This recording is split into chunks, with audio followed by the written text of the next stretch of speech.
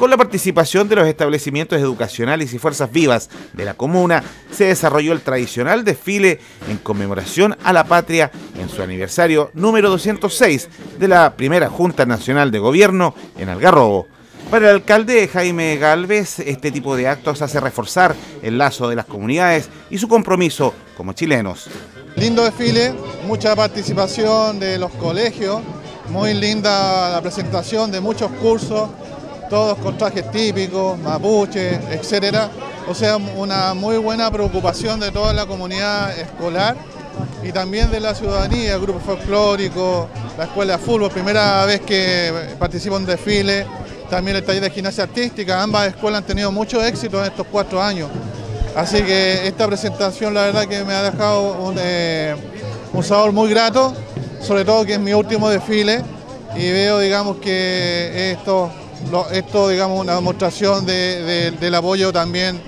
de los adultos mayores, por ejemplo, con todo lo que se ha trabajado con ellos. Reconocimiento a la vida del ejército hace este tipo de actos para el oficial militar presente, quien hace sus agradecimientos al respecto, como también su postura y responsabilidad ante la ciudadanía. Fue un lindo desfile en honor a la, a gloria del ejército y nos sentimos muy orgullosos de que la ciudadanía eh, no, nos dé este, este bonito desfile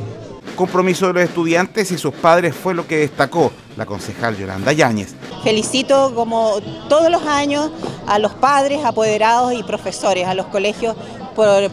se han destacado con sus hijos, muy bella presentación la verdad, así que los felicito. Para el concejal Fernando Gómez, este tipo de actos hace bien a la comunidad en general, sobre todo por lo cívico y la historia que trae consigo. Estuvo bien, bien buena la, presentación de las fuerzas vivas de la comuna, estuvieron presentes hoy día y eso significa que hay que la gente está comprometida con la patria y la municipalidad, por supuesto, hizo toda la labor